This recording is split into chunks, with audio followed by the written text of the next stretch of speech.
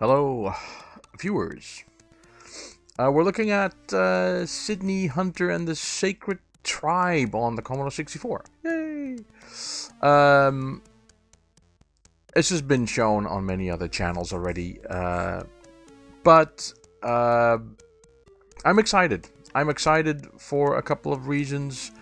Uh, one of them um, is that this game is from uh, a software a creator that we haven't seen Commodore 64's game from yet. So, uh, and they've done a pretty good job. Um, and the second reason that I'm excited is that um, this is not the first Sydney Hunter game. Um, there's also Sydney Hunter the Ca- and the Caverns of Death, um, which uh, our good friend uh, Electric Adventures is working on for the NES. So this Sydney Hunter game is available on the ColecoVision. Uh, it's on the NES, on the SNES, now on the Commodore 64. Um, there's also Sydney Hunter and the Curse of the Mayans. Um, so uh, this is really uh, something to look forward to. You know, the, uh, just to see what the next uh, next game will be. This is a platformer game. Um, we're just gonna play it. I, I'm uh, not gonna show. Oh, I am gonna show the intro because I don't have any choice. I have to show you the intro. So let's do that. I'm playing it on Vice, so it's easier to record. It was developed by Exidy and published by uh, CollectorVision. Now, CollectorVision is, I think, by nature a Canadian company. They're also in the in the United States. Um, Games 31, John Lester is their um, uh, marketing uh, manager or president or whatever. He does the marketing. Um, and basically, what they do is they they've bought uh, the Acclaim name, and now they've bought the Exidy name, and they just hire independent programmers and designers and uh, sound people and graphics people, and have them design these games, and then they make them into cartridges or disc versions, and they even have uh, electronic downloads. Now, another th- reason to be excited is that this game is only six dollars for the download. Now, you don't get the manual, uh, so this is definitely a point for improvement. You know, all of the other companies like uh, Psytronik and uh, and uh, RGCD if you buy electronic versions, you get the whole shebang, right? So you get maps and you get PDFs and you get manuals and you get everything. So in this case, you just get a D64 image with the game on it. Perfect, you know, it's a very good price. Um, naturally, they also sell cartridge versions and disc versions for this game. All of them are sold out at the make at the time of making of this uh, this video. So let's just have a little play around with the with the game um, uh, there are some loads as you go on. Your Sydney Hunter, Great Adventurers. You go to Central America, Yucatan. You've all seen this probably. Uh, you were captured in the night by a mysterious tribe. They won't hurt you, but you're their prisoner because you have to find the way out. Well, you know, that's the story. Now there's a load. There won't be one on the uh, on the cartridge version, but now there's a load, and it takes a while. And I can I can see that it's loading because my little light is flashing. But after it loads, track 25, it stopped loading now. So now it's doing something, right? And you're thinking, oh my god, my my game has crashed or my computer has crashed. So hold on because it starts. Greetings, we don't want to hurt you or people are in trouble. We need your help. We Lost access to the doorway. So I've got five lives, I've got no diamonds and no keys. Uh, this is my little um, high resolution um, Sydney guy. I have no weapon. All I can do is jump up and down. Does nothing, not, nothing, nothing except uh, access ladders and vines. Uh, and that's it.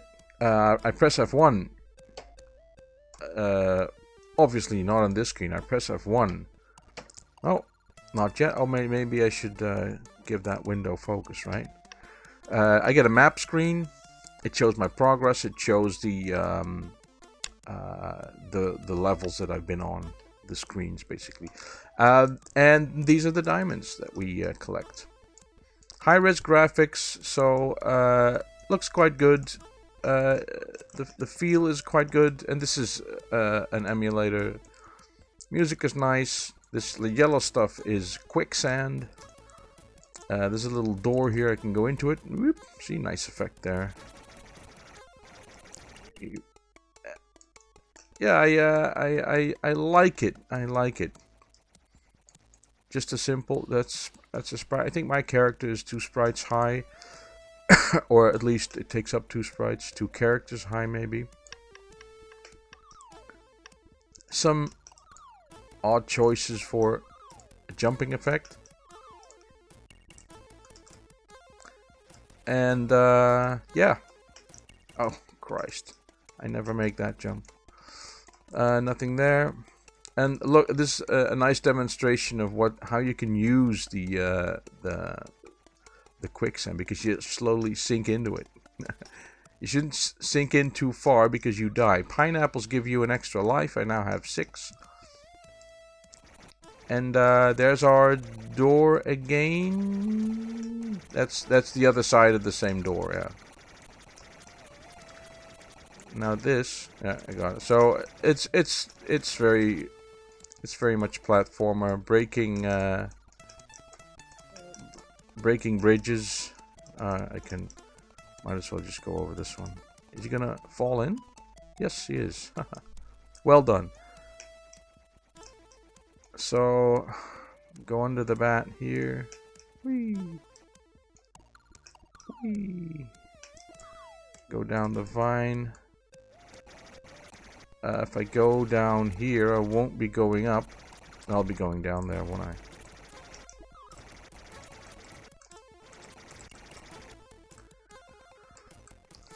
Yeah, I've, I've, sometimes you have a little trouble uh, getting up and down the ladders. They could have, um, I don't know how they detect exactly how you are in front of a, a ladder or over or under one. Ooh, it's quick. See, going up here, I couldn't get up there. Now I can.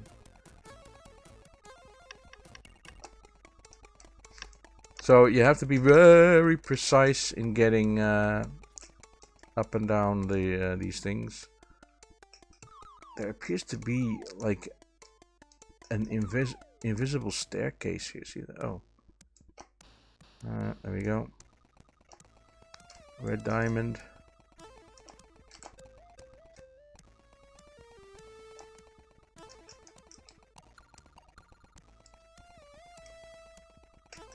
Pineapple. Oh, nothing there. Let's see where I am. Ah, oh, she done all that. So, uh, yeah. Um, uh, uh, not not bad at all. I mean, I I I couldn't have done this.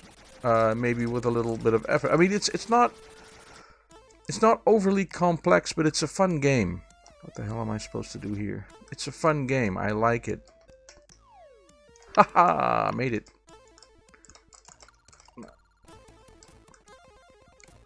It's a fun game, and it's and it's well made, and uh,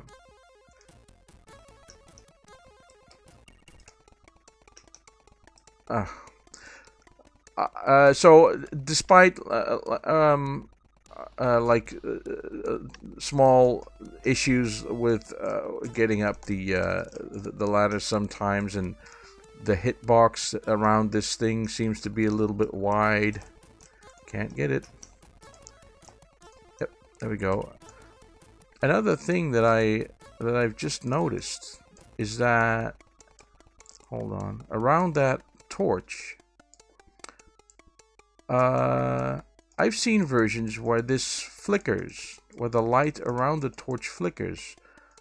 Um, my version doesn't seem to have that for some reason. Don't know why that is. I didn't set anything.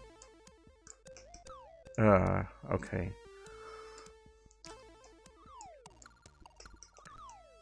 Did I just... Oh. See, he didn't appear to touch me there. I am invincible for a short while. I, I look purple. Aha, I haven't been here yet.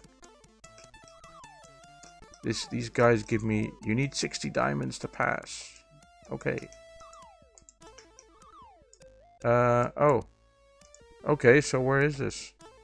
Alright. Oh, you can actually see the, um, the doors where they are.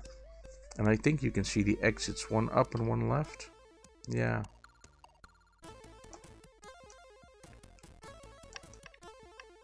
So if I go left here, there's another left there. Whee!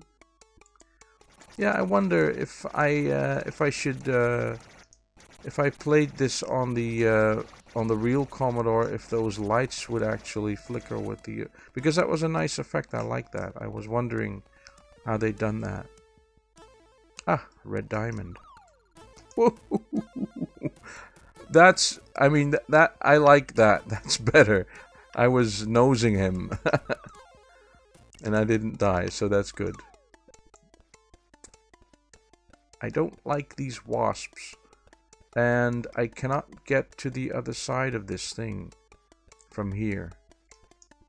Because the snake will get me.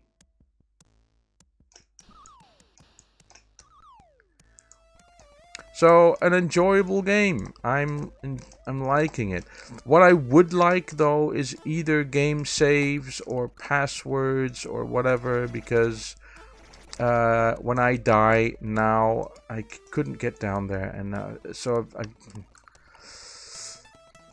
um I can't get off the ladder that way. Um, there's there's no passwords or anything. So if I go down there, what'll happen? Can I go left? I should be able to. Oh, I'm invincible. See that? Oh. Oh, maybe these uh, totems or something. How am I going to be able to jump over him? I don't know. Yeah. this is exciting. Ah! Go away. No.